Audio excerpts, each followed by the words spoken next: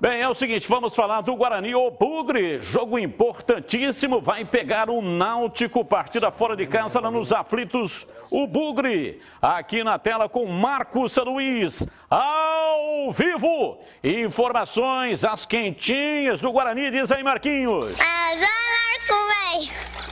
Legal, Batista. É, lá vem o Marco. Um abraço para você, para amigo da tela da Band. Guarani tem jogo contra o Náutico Timbu lá nos aflitos, neste sábado, às 5h15 da tarde. Batista, esse jogo seria às 4h30, né? Mas houve a mudança, jogo, portanto, às 5h15 da tarde. O Guarani viajou ontem para Recife, oficialmente não está pronto, técnico Daniel Paulista não vai poder contar com Ronaldo Alves, o jogador está suspenso. Aliás, né, Batista? Você até falou isso na Rádio Bandeirantes. O jogador já não atuaria com a equipe do Guarani porque ele pertence ao Náutico. Está emprestado até o final desta temporada. Então, por força de contrato, não poderá atuar. O Carlão vai para a zaga. Nas demais posições, o mesmo time da vitória diante do Operário, inclusive com a presença de Júlio César, jogador que retornou, tem a questão muscular, e o próprio Júlio César projeta a partida deste sábado.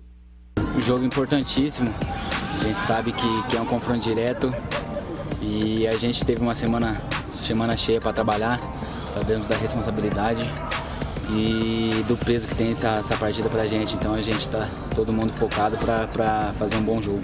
A gente teve um, dois dias ali de, de descanso para dar uma recuperada, mas logo na, no, no, decorrer já começou a semana forte, como tinha que ser, né? Com, com um jogo decisivo como esse. Então tá todo mundo focado no, no, objetivo. É, todo jogo, na verdade, é uma decisão, mas esse como é um confronto direto, então o torcedor pode esperar a, a máxima vontade aí de, de todos os, os atletas para a gente desempenhar o nosso melhor lá. Bom, como disse aí o Júlio César, todo jogo é decisão, então partindo desse prisma aí, né, Batista? O Guarani, por exemplo, poderá dizer que é uma partida de seis pontos ou metal esfregando em metal. Provável Guarani aproveitando a arte da tela, com Rafael Martins no gol, Matheus Ludic na lateral direita, a zaga com o Thales e o Carlão, Bidu lá na esquerda. Meio campo com o capitão Bruno Silva, mais o Rodrigo Andrade e também o Andrigo. Na frente, Júlio César de um lado, Lucão do Break centralizado e Bruno Sábio do outro lado. Deve ser este o Guarani para a partida de amanhã às 5 e 15 da tarde. Em relação a Regis, depois de seis partidas, está relacionado, mas como opção no banco de reservas. Batista. Vamos lá, Júlio Nascimento, começa com você falando do Guarani, partida que você vai narrar na Rádio Bandeirantes. Diz aí, Júlio. Pois é, Batistão, um jogo muito complicado né, contra o Náutico. O Náutico, apesar do, da sequência negativa dentro de casa, não vence já há quatro jogos.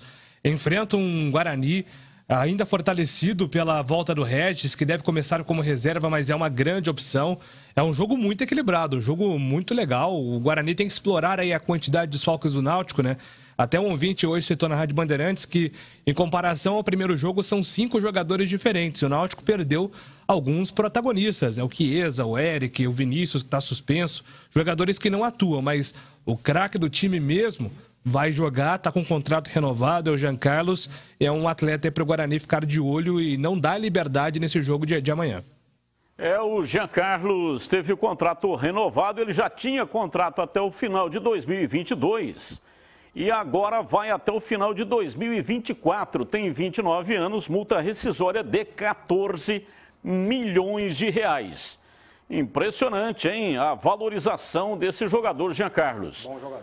Gleger Zorzinho, você que vai comentar o jogo pela Rádio Bandeirantes, sua expectativa? Olha, expectativa de bom jogo, né? É um jogo muito equilibrado. As duas equipes no aspecto técnico são muito parelhas, né? Muito iguais.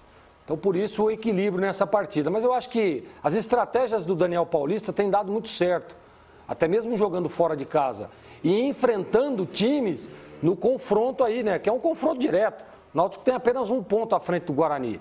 Então, eu estou muito confiante, porque o Daniel, todas as vezes que enfrentam esses times com jogos dessa envergadura, ele prepara ali sempre uma estratégia para surpreender, surpreende e ganha o jogo.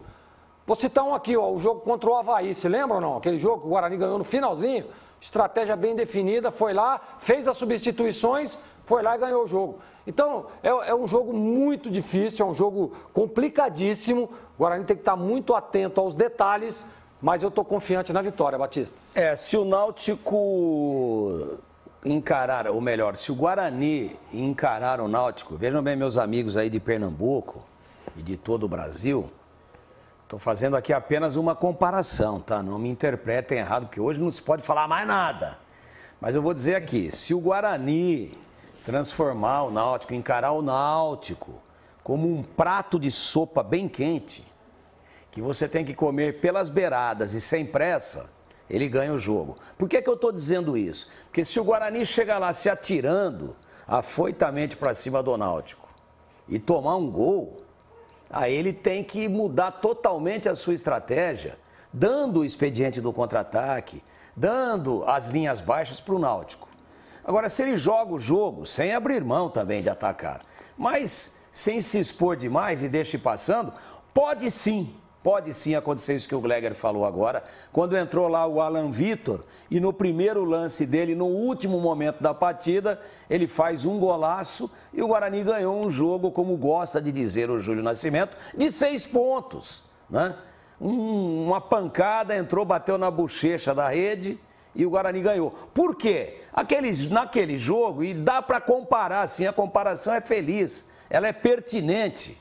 Naquele jogo, os dois times estavam juntos e o volume de jogo do Havaí foi muito maior. Só que não conseguiu botar para dentro, a defesa foi bem. E numa bola muito bem executada, numa jogada bem elaborada, o Guarani ganhou o jogo. Eu acho que esse espelho, se eu sou Daniel Paulista, eu cito com bastante ênfase na preleção para tentar colocar na cabeça dos jogadores qual é a estratégia. Mas é um jogo muito equilibrado, extremamente difícil. Ô Marquinhos, esse time que você passou, você é extremamente bem informado e, evidentemente, se colocou o time aqui porque é o time que vai jogar. Mas, sabe como é que é, né? O, o treino de madrugada, de noite, aquele negócio todo, não é verdade? Você acha que pode ter alguma alteração? Nesse é, o coletivo noturno, né, Batista? É, o pijama training, né? Você acha que pode ter alguma alteração nesse time? É, isso aí. Não, Batista, acho muito difícil. Acho que o time realmente é este que a gente passou. O Passarinho Verde, inclusive, acompanhou né, o último treinamento do Guarani antes do embarque para Recife. Ele testou a opção com o Regis no início da partida, até para preservar um pouco o Júlio César, mas o time deve mesmo ser esse, ou seja, com o Rafael Martins, o Ludic, a zaga com o Thales e o Carlão e o Bidu, Bruno Silva, capitão, Rodrigo Andrade, Andrigo, Júlio César, Lucão do Break e da Júlio César, Lucão do Break e Bruno Sávio. Este deve ser o Guarani para o jogo de amanhã, 5 e 15 da tarde, Batista. Vai jogar com 12.